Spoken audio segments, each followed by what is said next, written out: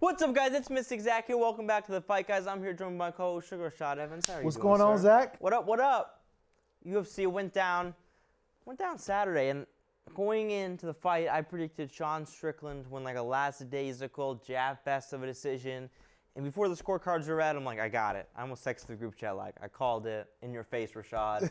and then they were at the scorecards, and they were all 49-46, which scared me that no judge saw it 3-2. I was like, huh, split decision. That, by the way, it's never happened in this UFC, right? It's Yeah. Split decision where none of them are 3-2. Yeah. And then uh, Jared Cannonier's the winner. What was your thoughts on uh, the fight, the scorecard? What, what? I, I thought that Jared won the fight. I thought he did uh, primarily because you know Strickland kind of deviated from his his jab fest that he normally does. You know, normally he circles, have a heavy jab, and he, and he power loads the side that's the jab side, which is the right side. Whether you're southpaw or you're orthodox, you usually load heavy with that jab and makes you you know suppress your fire and punch him back just because he's punching at you so much. But he didn't really do that this fight. He kind of was uh, getting pressured, and that's something you don't normally see. You know, he's a pressure fighter, but he was fighting on his back foot a lot that fight, and I feel like that may have cost him, and maybe he just wasn't feeling as confident as he normally is Yeah. in the pocket after taking such a big shot from Pereira. Yeah, yeah, definitely that fight I think affected him.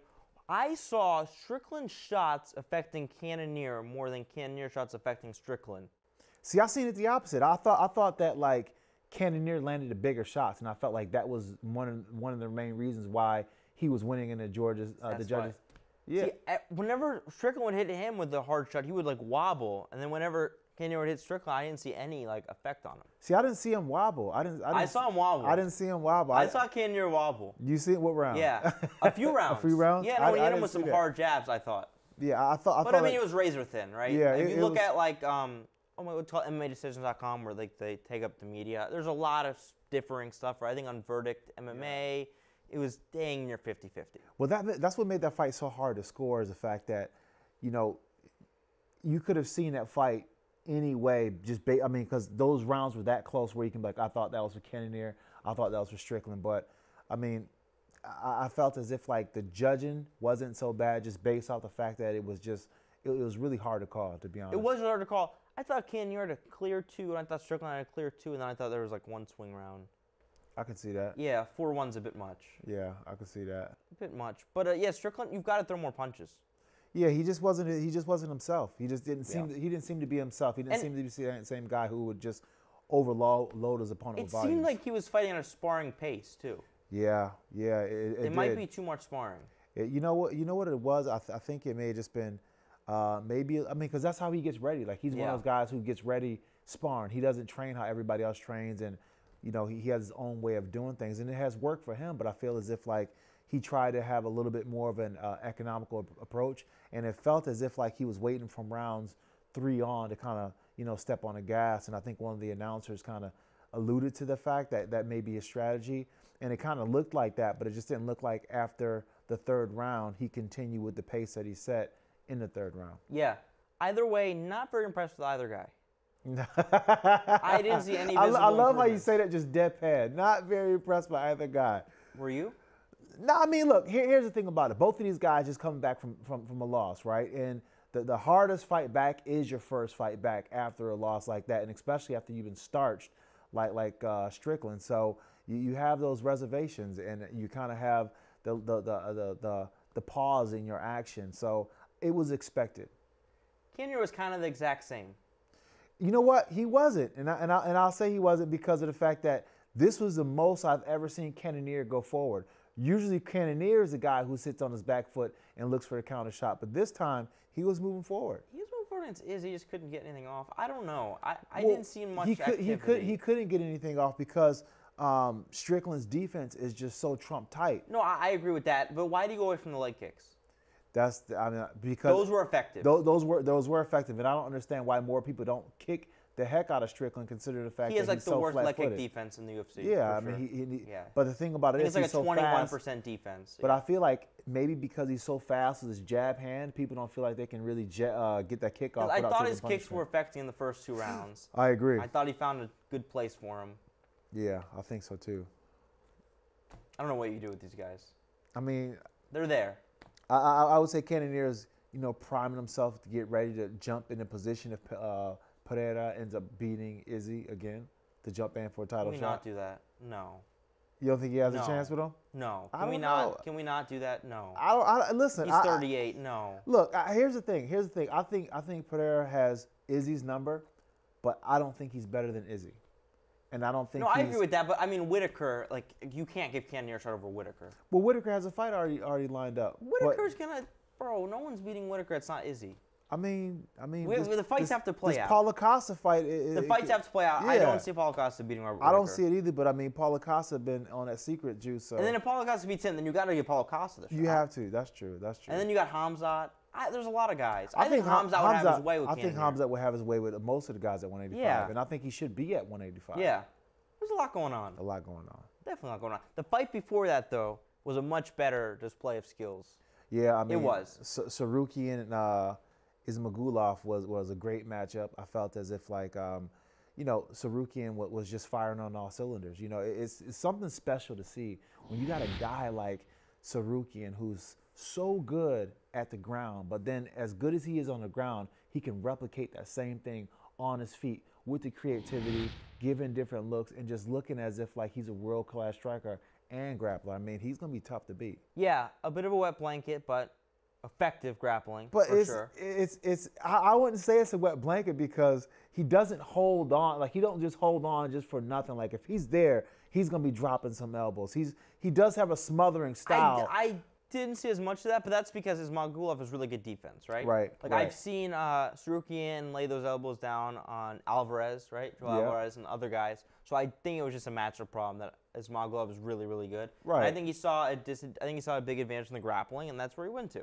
yeah, absolutely, and, and it's a way to kind of jam up a fighter like Ismagulov who has the ability to to strike pretty well, right? So you I, wanna- I think he would have won on the the feet. strike. Yeah, Yeah. He, I mean he was winning on the feet to be honest. He, he, was, had some but nice stuff. The, the jab to the body, the three to the body, Yep. the the um, jab down, right cross up. There was some effective stuff from Ismagulov that you don't see from guys in MMA. Really, yeah, it's true. It's true. some good boxing fundamentals. So Yeah. I was impressed with both guys. Yeah, I, I was too. Ismagul, um, but here's the thing about that: both of those guys are like in the upper echelon of the rankings when it comes to the 155 weight class. How stacked is that weight class? Yeah, but we gotta get the okay. There's got to be a changing of the guard.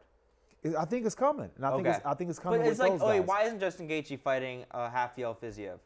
Yeah, I mean that. Well, that, that I think this this next group of guys is Magulov, um, Tsarukyan, uh, Gamrot, Gamrot, and uh, Fiziev. Fiziev. Those guys are going to be moving up and fighting the guys who are. Yeah, those guys are going to be starting to fight those guys, the Beneils, the the the uh, you know the the Gaethjes. and Beneil just got through Gamrot. Shout out to Beneil because Yeah. Gamrot made Tsarukyan not look pedestrian but look human. Right. And then Beneil just, I mean, beat Gamrot convincingly. Yeah. So, but Beneil, you've got to give him a shot. But I mean, that tells you something about the old guard, though. That old Yeah. guard may look like it may but be kind of weak. but but Dariush took that leap. He Yeah, did. Ga- he yeah. didn't have to, I mean, Gamrot's a tough fight, man. Right, I don't is, see. Justin Gaethje fighting that guy.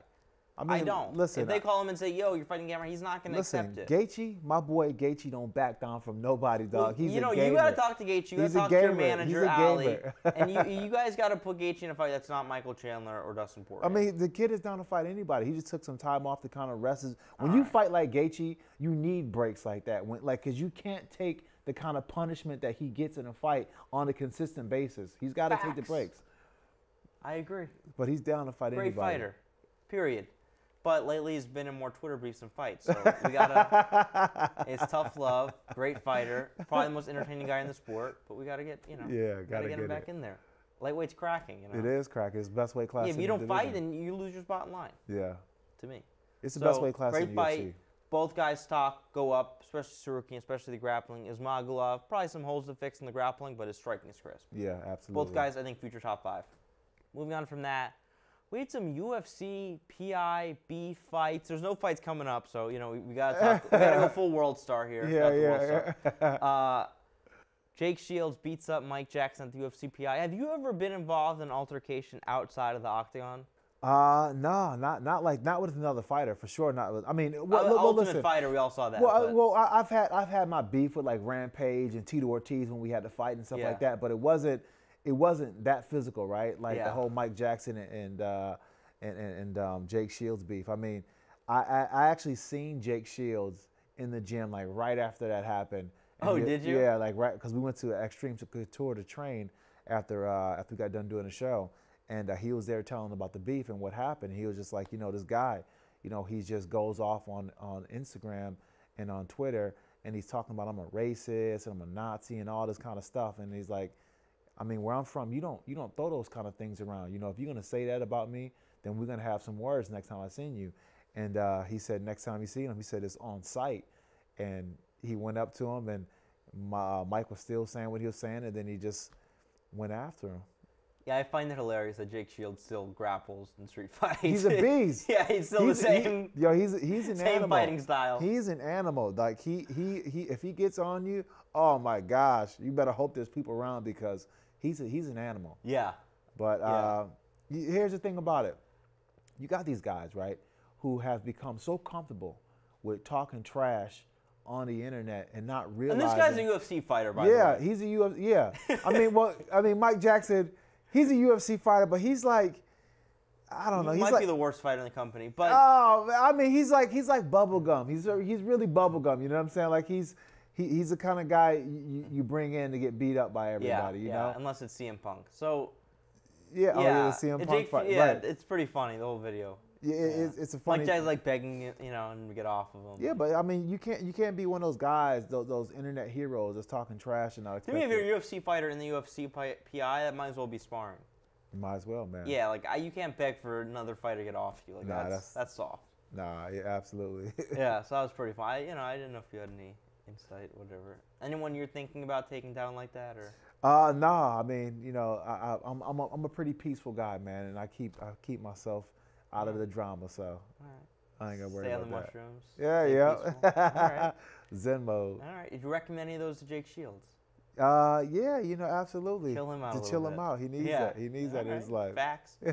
Moving on from MMA, World Star stuff to boxing, uh, we had a big fight, and it was between two undefeated guys, uh, both in the prime of their career. And shout out to Frank Martin, shout out to Michel Rivera for accepting those fights, right? Shout out to Errol Spence, Yeah. to everyone involved, right? Because we don't see that often in boxing. Two prime, undefeated younger guys clashing. yeah. And we saw it in boxing's best weight class, which is coincidentally also lightweight. Uh, Frank Martin took on Michel Rivera. Great fight. Frank Martin looked sharp.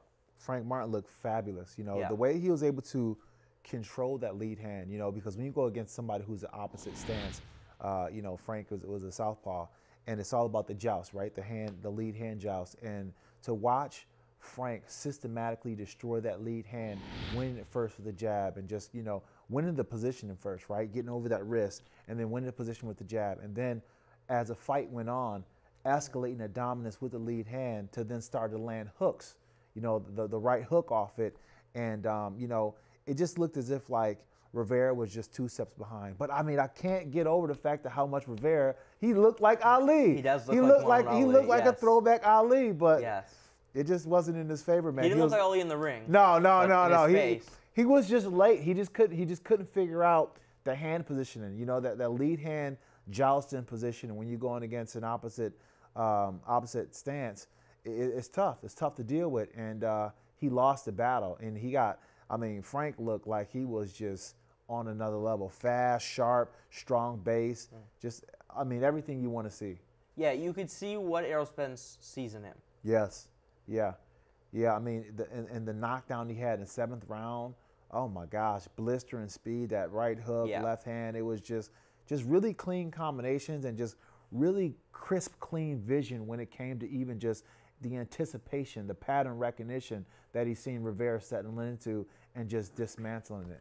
Yeah, so at 135 to 140, we've got Devin Haney, right?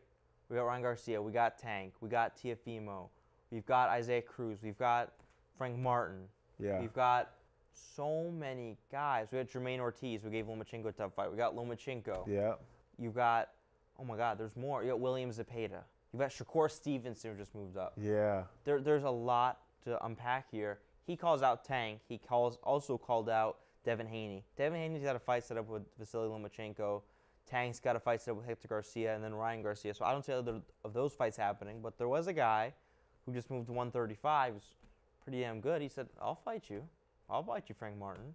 Shakur Stevenson. Shakur Stevenson. That'd Yeah. be a dope fight, man. That's a great fight. That'd be a great fight. That's fight. a great welcoming great fight, for. Shakur Stevenson. If he wins that, you can throw him right in for the title. Yeah, yeah. I mean, you, but you think that's something that uh, Martin would take? I don't know. It's up to him and Spence, right? Yeah, I, I, I yeah. would be confident in that guy's skills, Yeah. right? Because he, he's a great fighter, and to at least look good against anyone, you know. And, and the fact that he, he's willing to go in there and, and test himself against some of the best already, you know, undefeated fighter, and you know, not wanting to ride that like a lot of boxers they want to stay keep the record, right? They want Yeah, to he the record. Yeah, and, and he and he could have done that, and he and he put it on the line. So the fact he's willing to put it on the line, it shows that he's willing to risk it in order to be the guy. I mean, and look that's what Terrence Crawford just did. yeah, you have to do it.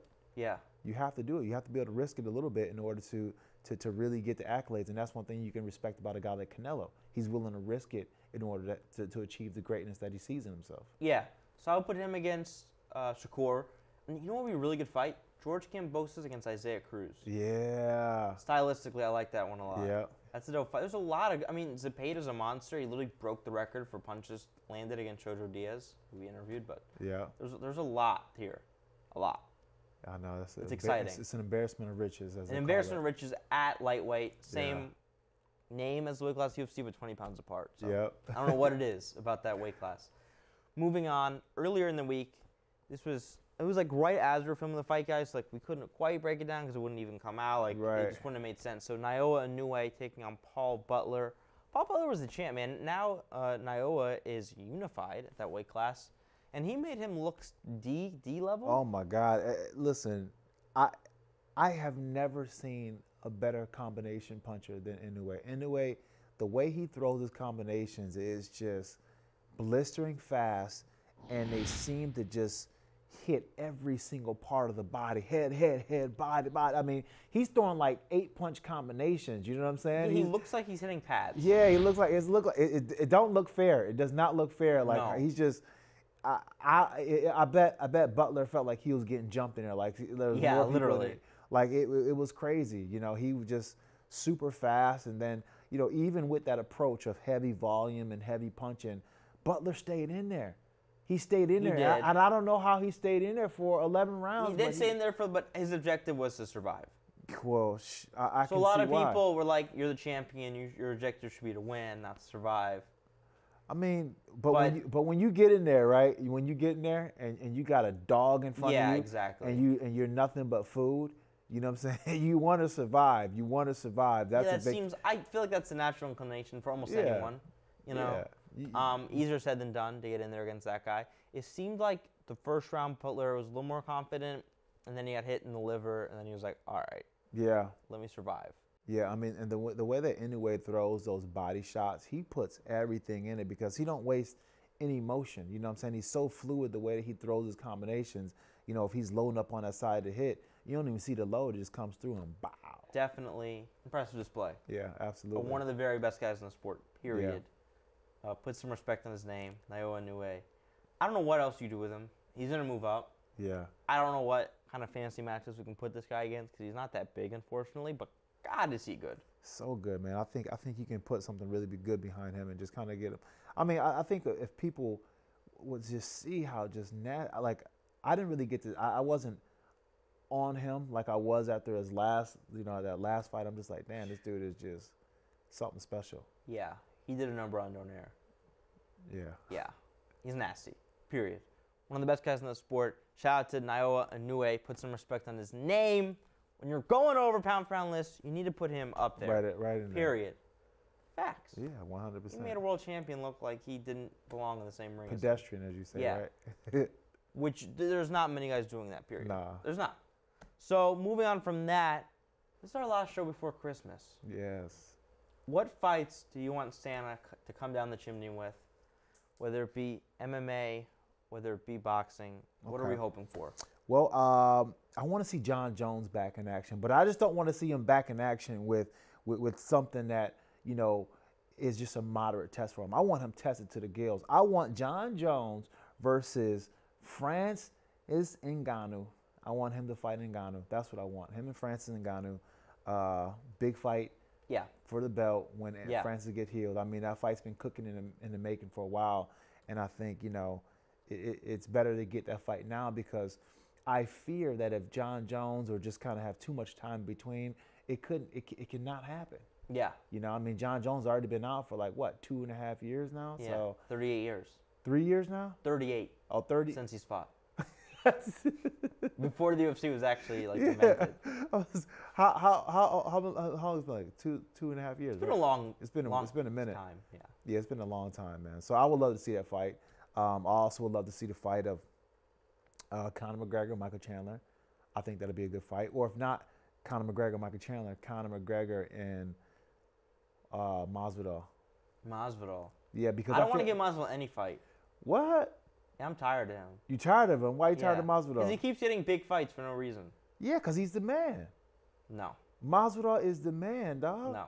You don't think so? N- not not like he talks. Listen, he he's, he's They're talking. Okay, okay. Can we talk about this? Go ahead. We haven't talked about this, and then I'll go over my dream fights. okay. Stephen Wonderboy Thompson says that the UFC wants to book Leon Edwards versus Jorge Masvidal right now because Kamaru Usman's getting hand surgery. Oh no. What are we doing here? You cannot give Masvidal a title shot off of that many losses. No, Three no. straight losses. He hasn't won a round. No. no what that- are we doing? No, that, that can't that can't be that can't be that can just that can just be like that can just be gym talk. You know what I'm saying? I wouldn't even I wouldn't think that the UFC would even do something like that. So can we stop doing this with Masvidal? Can we stop pretending? Can he fight Gilbert Burns or someone good? If you want to be in the title shot? yeah, he he would need to in order to get a title shot. But I'm talking about McGregor here. I think it'd be a perfect fight for McGregor to come back to. Can we not? Masvidal doesn't deserve that much of a money fight. No, Michael yeah, Chandler deserves it. Okay, either or, either or. Not, and I can't. He's agree- punching guys I- outside the octagon. What are we doing here? And I can't disagree with that. I can't Yeah. disagree with that. We're committing assault. we're, Come aid- on. we're aiding and abetting to the criminal, huh? yeah, come on. I mean, McGregor's done the same thing, but come on. Yeah, They're- and- they're, they're kind of two peas in the pod, but come on. And for my boxing pick, I would say uh, I would love to see Anthony Joshua versus um, Deontay Wilder. Wilder. Yep. I like that pick. I like that pick. How about you? What do you, what do you, what do you I'm got? gonna go with a different heavyweight boxing matchup, Okay. and I'm gonna go with what happens when an immovable object meets an unstoppable force, and that's the oh. biggest right hand in boxing Yep. going against the best chin in boxing. That's Deontay Wilder against Joe Joyce. That's what you want to see. What would happen when you put the strongest, most indestructible guy against the hardest hitter, hardest hitting boxer of all time? What would happen? What would happen? That- Yeah, I and the mean, winner that- would get Tyson Fury, the winner of uh, Fury Usyk. And if Wilder can knock Joe Joyce out, he deserves it, right? Yeah. And if Joe Joyce can get through that guy's right hand, he deserves it. And Yeah. of course, you do Usyk versus Tyson Fury. The winner of Usyk versus Tyson Fury is pound for pound number one. There's no doubt about it at that point. They are the top dog. They are the, the cream of the crop. I thought that fight was already like a foregone conclusion. So th- there, there's money talks, Okay. you know, and I don't know if Tyson Fury's gonna be able to get the amount of money he wants, right? Yeah. Usyk's not the biggest name, so hopefully we get that. Hopefully it's on my wish list for sure. Of course, Crawford Spence, but Joe Joyce and Deontay Wilder. What would happen? Oh my gosh. What, what if he hits him with the right hand? does he go down? Does he like somehow stay up? I mean, Like, I, what, I, what I, don't, I don't, I don't foresee anybody standing up to Deontay Wilder's right hand. But Well- I've never well, even seen Joe Joyce look like he's affected. That's true. That's true. He's That's true. Frankenstein. That's true. What is that guy made out of? it's the head, dog. Adamantium? That's a great fight. Yeah, it'd be a We're already fight. getting tanked for Ryan Garcia, so I don't want to um, do that fight, right? right. Um, there's some great fight. I, like Isaac Cruz versus Kambosos. That's like a low key one, but that, that's a great fight, man. Yeah, that'd be a great fight too. Naoya Inoue against anyone. Maybe like Naoya Inoue against like Butterbean. I I don't know. I don't know. Something How about, how cool. about, how about MMA? um, MMA. I, I'm not gonna talk about McGregor. Okay. I'm not because he's not even in the USADA testing pool. No, he's not. I mean, he's got to clean out his system first. But you Yeah, know, I, it, could God. be, it could be a long What are way. we doing here? It could be. A, he might not compete to 2024. USADA, what are we doing here, dog? Like, why is this our conversation right now? Jesus. So, uh, circling away from that, I love Cejudo Sterling. I'm excited for Henry Cejudo to come back, Mm-hmm. Yeah, and I know yeah. a lot of people aren't. I don't care. I- that was the pound for pound number one fighter last time he stepped in there. What he did to Marlon Moraes, what he did to Dominick Cruz was supremely impressive. Mm-hmm. Yeah. Seriously, he's got more heart, more determination than anyone, and his skills to, to match. So, and he's training with Demetrious Johnson right now. yeah. I mean that that right there. I mean Demetrious Johnson is no doubt the goat. No, No doubt, doubt. the goat. Skill wise, there's no oh one, my gosh, no Skill wise, longevity, mindset. Yes. outside the octagon. Like there's every single like this dude is just a stand-up guy, good dude all the way around. You know what I'm saying? An amazing fighter. Henry Cejudo couldn't be getting better training with anybody else than Demetrious. Yeah, and I would say my other wishes, fight I mentioned earlier, Justin Gaethje versus Rafael Fiziev. Oh, that'd be That's a a banger. banger. That'd be a and banger. it's a striker for Gaethje, right? That'd I'm not banger. trying to throw him to Yeah. the wolves. I'm not trying to give him a wrestler. Gaethje can strike with And anyone. Both those striker. guys have insane power. Mm-hmm. Both of them have you know good takedown defense to boot. That's a great fight, and that's an old guard versus new guard. The winner, Yep. that's looking good. Yep, I'd love to see Period. that fight too. Hit up the hit up the UFC. Hey, let's make the wish list happen. Let's make the wish list happen. Yeah, also, Jake Paul versus Tommy Fury. I mean, we got to move past that. But right? like we, keep no, saying, no, it, we, gotta, gotta see it. We got to we move still have to past see it. it. We still gotta to move it. past we have to see it. We got to get booked three we times. gotta- we have to see it. I mean, it's at this point. I It- think. it- it's like it's like the influencer boxing version of Tony versus Khabib. Yeah. That's what it's turning into. yeah. It is, but we Yeah, have but to I, see I feel. I feel like this. I feel like. uh, It's I- been teased too many times. I feel like Jake has to. May, maybe Jake versus Diaz. no, because he's got to fight a boxer because no one shuts up. Yeah, Nobody but- ever shuts up. But. Tommy, Tommy, Tommy's not a real boxer He's like that. though. I don't know. I think Uh, we got to see it. Okay. I'm Mystic Zach. That's Suga Rashad Evans. You just watch the fight, guys.